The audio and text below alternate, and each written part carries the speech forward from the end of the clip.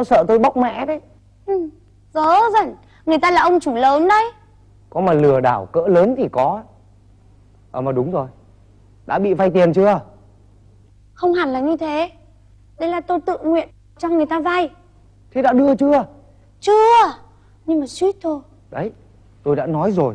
Cô cứ lang thang trên mạng rồi gặp toàn những cái tay lừa đảo thôi. Ừ. May mà tôi xuất hiện đúng lúc đấy. Tôi không tin. Chẳng nhẽ tôi không bao giờ gặp được một người tốt nào trên mạng à Khổ quá. Tại sao xung quanh em toàn những người tốt thì em không tìm? Lại cứ lang thang trên mạng làm cái gì? Thì bây giờ tôi hỏi anh nhá Anh nhìn xem xung quanh tôi có ai là người tốt nào? Ừ, Thiếu gì? Thì ai? Thì ví dụ như là Là ai? Ờ Cậu Tiến chẳng hạn. Ôi, Anh Tiến mà là người tốt à?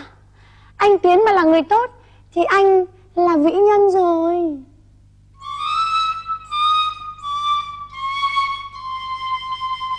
Mình là vĩ nhân à? Hay nói xỏ mình à? Lại cái trò này Chị hả? Báo cho em một tin vui nhá. Mỗi lần bịt mắt mình là có tin vui. Được tiền thưởng à? Không Thế chuyện gì? Sắp đi gặp bạn trên mạng. Trời ơi Có thế mà cũng nói. Đây có phải lần đầu tiên chị gặp bạn trên mạng đâu. Nhưng mà lần này khác những lần trước Lần này là thật. Chị chưa gặp thì biết sao là thật. Chị chưa gặp nhưng có người gặp rồi. Ai đấy? Bạn chị. Rút kinh nghiệm lần trước Lần này chị bảo bạn chị đi trinh sát trước Xem người ta có nói dối chị không. Sao sao nữa? Về bạn chị báo cáo với chị là Anh này cực kỳ đẹp trai Nói chuyện lại có duyên. Mà công an việc làm ổn định Bạn chị còn nhấn mạnh nhá Nếu mà chị không đồng ý Thì bạn chị sẽ nhảy vào cưa ngay Chắc chắn là chị không chịu rồi. Tất nhiên rồi. Tìm được người như thế trên mạng đâu phải dễ. Tối nay Chị sẽ hẹn gặp mặt ở quán cà phê đấy. Ồ, nhưng mà ngộ nhỡ Người ta nhờ một người khác đến gặp chị thì làm sao? Trời ạ, à, chị có phải con ngốc đâu. Chị đã bảo bạn chị nói với anh ấy là chị bị ốm. Bạn chị đi gặp mặt thay. Đến giờ phút cuối cùng Chị sẽ đột ngột xuất hiện. Cũng được Ờ, nhưng em bảo này Cái quán cà phê nó đông như thế Làm sao anh chị nhận ra nhau được? Mình phải có ám hiệu riêng chứ. Là gì ấy? Ám hiệu là một tờ tạp chí truyền hình. Cứ như tình báo ấy nhở Lần này 10 phần Mình ăn chắc 9 phần rồi còn gì. Nếu lần này gặp gỡ mà thành công ý, Chị sẽ đưa đến đây giới thiệu cho tất cả mọi người. Nhất là sếp Hào Hùng Để cho sếp Hào Hùng tức lộn ruột lên. Bởi vì chính sếp là người thường xuyên diễu chị mà. Đúng rồi đấy ôi, Anh làm cho bọn em hết cả hồn. Này này này.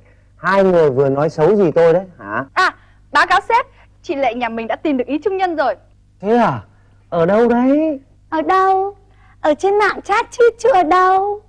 Rồi ôi Tôi đã nói với cô bao nhiêu lần rồi. Sao cô ngây thơ thế nhỉ? Này cô làm như thế thì khác nào như là Con cừu non mà ở trong hang hổ. Anh thôi đi. Anh đừng có diễu tôi nữa có được không? Ok Này tại sao cô lại cáu với tôi Đấy là chuyện của người ta. Anh chả ra sao cả. Ơ thế tôi nói như thế không đúng à? Này Tớ bảo Lần trước gặp mặt ấy Cậu có thấy anh ấy hay thật sự không đấy? Đã bảo anh ấy hay lắm mà. Đẹp trai, khỏe mạnh, ừ. nói năng thì dứt khoát Cử chỉ thì mạnh mẽ. Cái quan trọng là tiêu tiền như một ông chủ ấy. Ờ Vừa mới gặp mặt sao cậu biết là tiêu tiền như ông chủ? Cậu biết không Hôm trước tớ với anh ấy đi ăn cơm trưa Tớ gọi cua rang me đấy Cua rang me á? Ừ. Cua rang me thì có gì mà lạ? Tớ thấy thế bình thường. Cua rang me không lạ Nhưng mà tớ gọi những ba suất cơ. Hả? Ba suất cua rang me á? Ôi sao cậu ăn nhiều thế? Này ăn nhiều đồ hải sản mọc mụn trên trán này này. Nói tóm lại là anh ấy hay lắm đấy. Hay lắm à? Ừ. Này tớ bảo Nếu lần gặp mặt này mà thành công ý Tớ sẽ đưa về cho sếp tớ gặp mặt Sếp tớ bảo à, trên mạng à, toàn kẻ lừa đảo thôi Chẳng có ai là thật lòng với mình đâu. Nhưng mà tớ tin à, Nếu như anh ta giống như những lời cậu nói Thì đảm bảo anh ta còn tốt hơn cả sếp của tớ. Này Thì cậu có mang tạp chí truyền hình đi không đấy? Có chứ, đây rồi. Tốt rồi Cậu phải nhớ là trên tay anh ấy cũng cầm một tạp chí truyền hình như cậu đấy. Ừ. Thôi, đi. Đi. Amma, cậu đi đâu đấy? Đi vào với cậu. Không Xong việc rồi cậu đi về đi. Này Thế cậu định qua cổng rút ván đấy à? Ồ, nhưng mà đã gặp mặt đâu. Phải gặp mặt thành công thì tớ mới khao cậu cà phê chứ. Yên tâm đi Không phải khao cà phê đâu. Tớ còn khao cậu một chầu ăn uống bét nhẹ luôn ý. Nhá. Cậu nhớ đi nhá. Rồi nhớ rồi. Tạm biệt. Bye bye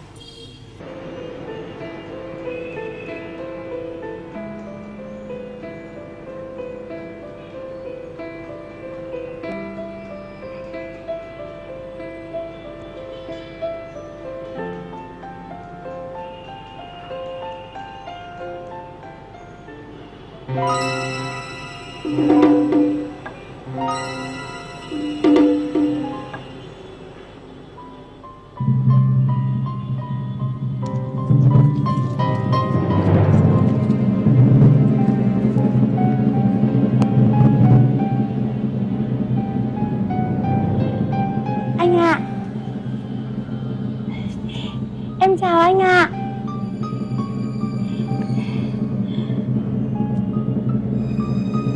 Cái gì cô?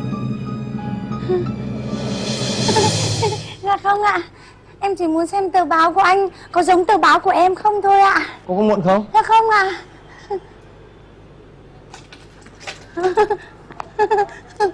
Em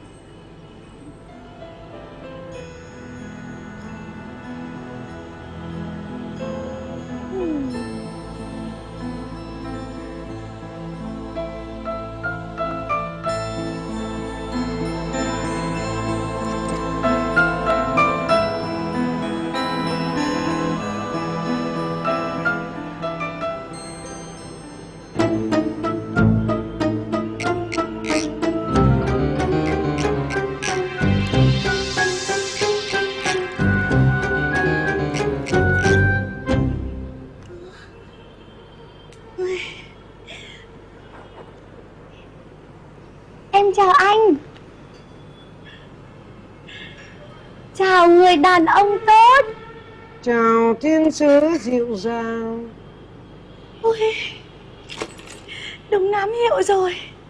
Cuối cùng chúng mình cũng gặp được nhau. Anh ơi Em Em cũng có một tờ tạp chí truyền hình giống anh. Ngoài đời Em tên là Mai Lệ. Biết rồi